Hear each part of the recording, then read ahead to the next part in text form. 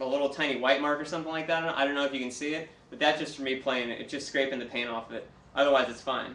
Okay, so let's see if I can break the mesh on this.